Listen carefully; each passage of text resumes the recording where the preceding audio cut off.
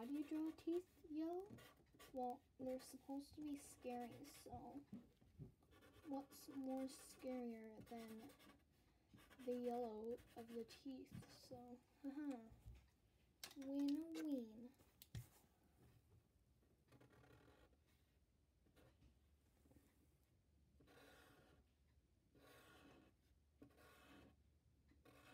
Something going on here, I don't know